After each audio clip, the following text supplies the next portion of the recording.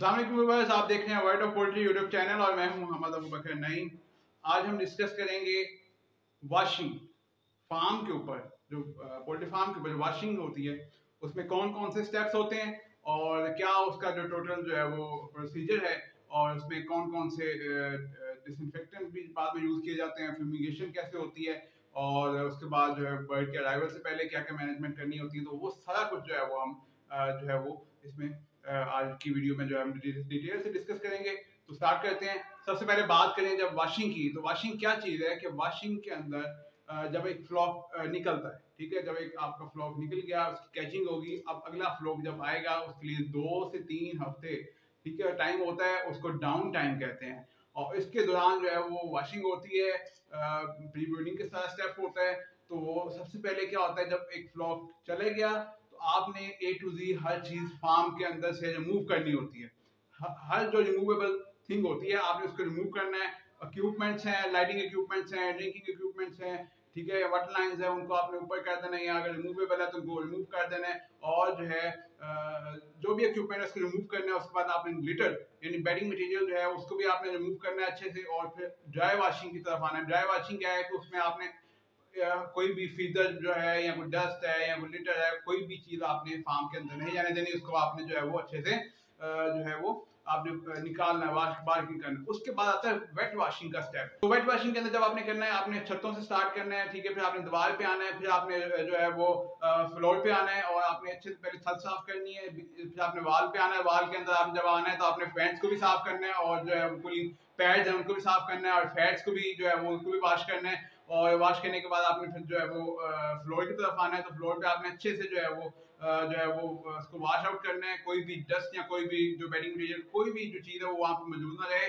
वो करने के बाद आपने क्या करना है कि फिर आपने सर्फ डालना है। सर्फ जो है वो आपने फिफ्टी ग्राम पर स्क्वायर फीट के हिसाब से आपने डालना है। आप अपना एरिया जो कैलकुलेट कर लीजिएगा, ठीक है? तो आपने फिफ्टी ग्राम पर स्क्वायर फीट ठीक है? उस हिसाब से अपना एरिया करके तो आपने उसमें उसमें डाल देना। ये मेथड डिफरेंट भी हो सकता है डिफरेंट वेटनेरियंस या फार्मर जो है, उसको डिफरेंट वाशिंग जो जो है प्रोसीजर उसको भी फॉलो कर सकते हैं। लेकिन जो मोस्ट कॉमनली यूज़ होने वाला प्रोसीजर है, और वो यही है, और ये सबसे अच्छा भी है। तो इसमें 50 ग्राम आपने फ़र्स्ट टाइम जब वाशिंग कर दी तो आपने सर्फ डाल दिया 50 ग्राम पर स्क्वायर फीट के हिसाब से। बाद आपने करना है कि आपने जो है वो 24 घंटे के बाद इसको रिमूव करना है सर्फ को रिमूव करना है 24 घंटे को, फिर वॉशिंग करने के बाद आपने नमक डाल देना है, ठीक है? एनएसीएल तो वो आपने जो है वो नमक जो है आपने डालने के बाद फिर उसको चौबीस घंटे के लिए छोड़ देना है। चौबीस घंटे जब कंप्लीट हो जाएँगे तो फिर आपने जो है उसको रिमूव करना है वॉश करना है, फिर से सारी वॉशिंग करनी है और फिर आपने कास्टिक सोडा डाल देना है और उसको फिर चौबीस घंटे के लिए छोड़ देना है। स्प्रेड कर दिया फ्लोर पे तो ठीक है, उसके बाद आपने जो है वो उसको भी चौबीस घंटे कंप्लीट हो जाएँगे, फिर आपने उसको भी रिमूव कर देना, और ये लास्ट वाशिंग होगी, आपने अच्छे से वॉशिंग करनी है वॉशिंग करने के बाद जब इसको फिर कंप्लीट वॉशिंग हो जाएगी, फिर आपने इसको ड्राई होने देना फार्म को। ड्राई होने के बाद फिर जो है व्हाइट वॉश अगर करने की ज़रूरत है तो व्हाइट वाश आप हर फ्लोर के बाद करनी चाहिए, क्योंकि क्योंकि जो है वो C U S F O जो है यूज़ होता है तो उससे क्या होता है कि वो जो हाउस को जो ग्लो भी कर देता है, ठीक है ब्राइटनेस आ जाती है, और उसके बाद ये जो है एक डिसइंफेक्टेंट भी है तो उसमें भी हेल्प आउट करता है। तो दीवार पे भी आपने जो है वो तकरीबन फोर टू फाइव फीट आपने जो है वो लाजमी तक का आपने जो है वो करनी है, ठीक है व्हाइट वॉश उसके बाद आपने फिर जो है बर्निंग की तरफ़ आना है। तो बर्निंग के अंदर आपने जो है वो दीवार को भी जो है वो दो से तीन फुट तक आपने दीवार को भी करना है, फिर तीन से तीन फुट तक दीवार के साथ साथ फ्लोर पे भी आपने बर्निंग करनी है। बर्निंग का फ़ायदा ये होगा कि कोई भी बैक्टीरियल है इनविजिबल जो है कोई भी इंसेक्ट है या कोई भी चीज़ है तो वो भी खत्म हो जाएगी उसकी हीट की वजह से। अब बर्निंग के बाद क्या होगा कि बर्निंग स्टेप कंप्लीट हो गया, उसके बाद आपने, फिर आपने क्या करना है कि आपने फ्लोर के ऊपर, अपने फर्श के ऊपर जो फार्म का है, उसको फ़ार्मिंग की स्प्रे करनी है और वो करनी है टेन एम एल पर वन लीटर के हिसाब से। ठीक है, जितना वो यूज़ होगा उस हिसाब से देख लीजिएगा। वन लीटर के अंदर जो है वो टेन एम एल फ़ार्मिंग आपने करने के बाद आपने उसको जो है वो स्प्रे करनी है पूरे आप फ्लोर के ऊपर। उसके बाद आपने वाल्स के ऊपर स्प्रे करनी है, वो साइपरमेथ्रिन की करनी है, और वो भी 10 एम पर वन लीटर के हिसाब से साइपरमेथ्रिन वाल्स के ऊपर। तो ये जब आप इसको डिसइंफेक्ट कर देना इस तरह, अब यहाँ तक जो है आपकी सैनिटेशन और सिटिलाइजेशन का स्टेप है, वो कंप्लीट होता है। अब अगला स्टेप क्या है कि आपने एक चीज़ और मैं यहाँ पे थोड़ा सा ऐड कर दूँ कि जो आपकी वाटर लाइंस हैं, उनको वाटर क्लीनर के साथ आपने वॉश करना है, ठीक है? ठीक है, वो आप इसमें आपने चलाना है तो उससे सारी वॉशिंग होगी। अपने जो टैंकी हैं, उनको वॉश करना है। उसके बाद आपने जो इक्विपमेंट्स हैं, जो फीडिंग इक्विपमेंट्स हैं, जो भी इक्विपमेंट्स उनको अच्छे से सर्फ के साथ जो वॉश करना है, उसके बाद आपने उसको धूप में रखना है, ठीक है? और उसके बाद आपने इसी तरह जो लिटर है, अब जो लिटर है, उसको आपने ट्रीट करना है डिफरेंट डिसइंफेक्टेंट के साथ, उसमें जो है वो साइपरमेथ्रीन आ जाता है फार्मेलिन आ जाती है, और और विलकॉन आ जाती है? ठीक है तो इसमें जो फार्मेलिन है, वो फार्मेलिन जो है, वो फाइव एम पर लीटर के हिसाब से यूज़ करनी है और जो साइपरमेथ्रीन है, वो टेन एम पर लीटर के हिसाब से यूज़ करनी है। और जो विलकॉन है, वो आपने टेन ग्राम पर लीटर के हिसाब से आपने यूज़ करनी है। ठीक है तो इस, उनको फिर आप कट्ठा भी करके जो है वो डिसइंफेक्ट कर सकते हैं। उसको जो आपका जो लिटर है, उसको, उसके साथ आपने उसको बिछा के एक ओपन एयर के अंदर, ठीक है, उसको आप ट्रीट कर दें। ट्रीट करने के बाद स्प्रे करने के बाद, उसके ऊपर उसको धूप में रखें। धूप में रखने के बाद जब वो उसकी कंप्लीट डिसइंफेक्शन हो जाएगी, फिर आप उसको जो है वो, अब अंदर जो है उसको प्लेसमेंट करेंगे फार्म के अंदर लिटर प्लेसमेंट होगी। तो वाटर लाइन्स हैं उसमें आपने जो है वो वाटर क्लीनर जो है 48 आवर्स के लिए आपने उसके अंदर रहने देना है। ठीक है 48 आवर्स के बाद आपने उसको रिमूव करना है। इसी तरह जो कप है, जो लाइक कप जो है वो निपल ड्रिंक जो होते हैं, उसमें कप होता है तो उसमें आपने सल्फ्यूरिक एसिड जो है, वो डालना है, उसको 24 आवर्स के लिए आपने उसके अंदर रहने देना है। 24 आवर्स के बाद आपने जो है, उसको रिमूव करना है, ठीक है वॉश करना फिर से। अच्छा तो अब जो है जो है, वो क्या कहते हैं कि आपकी वॉशिंग कंप्लीट होगी, ठीक है, अब स्टेप क्या है कि अब आपने सारे जो इक्विपमेंट्स हैं फ़र्स्ट पहले तो लिटर प्लेसमेंट होगी।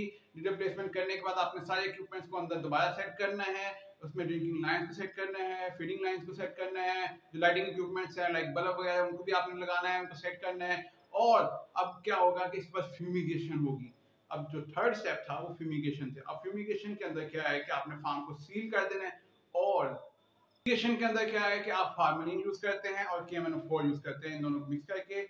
इसमें आपने क्या है कि आप जिस तरह स्ट्रेंथ होती है, ठीक है, मैं आपको एक एरिया की स्ट्रेंथ लाइक वन एक्स है तो वन एक्स के अंदर हंड्रेड पर क्यूबिक फीट के हिसाब से, ठीक है, ये एक पूरा हंड्रेड पर क्यूबिक फीट एक एरिया होगा, उसके लिए वन एक्स का टर्म यूज़ करते हैं। तो वन एक्स के अंदर सेवनटीन पॉइंट फाइव ग्राम जो है वो K M N O four use होगी और और थर्टी फाइव एम एल जो है वो फार्मली यूज़ ठीक है? इन दोनों को आपने करके इसकी फ्यूमिगेशन करनी है। फ्यूमिगेशन करने के लिए आपने फार्म को जो है वो करने के बाद आपने सील कर देना है। कम से कम तीन दिन के लिए इसको सील किया जाएगा। सील करने के बाद, जब तीन दिन के बाद ओपन करेंगे तो फिर आपने दो से तीन दिन और इसको देने हैं, ताकि जो है इसकी इंटरनल जो एयर है, वो बाहर चल जाए फ्रेश एयर इनसाइड आ जाए। ठीक है? उसके बाद फिर अगला स्टेप ये होगा। अब बर्ड्स के अराइवल से पहले टेम्परेचर अगर तो बाहर गर्मियाँ हैं तो फिर आपने 24 four hours ago temperature set करना है। अगर सर्दियाँ हैं तो फिर आपने 48 हार्स अगो जो है वो टेम्परेचर सेट करना है। ठीक है? तो थर्टी गर्मियों के अंदर thirty three degree centigrade temperature जो है वो ब्रॉयलर के यूज़ किया जाता है सेट किया जाता है स्टैंडर्ड जो है। और अगर सर्दियाँ हैं तो थर्टी फोर तक कर दिया जाता है, ठीक है? तो इस तरह आपने सारी अरेंजमेंट फिर आपने जो है वो ड्रिंकिंग लाइन्स को चेक करना है कि वो फंक्शनल है या नहीं है।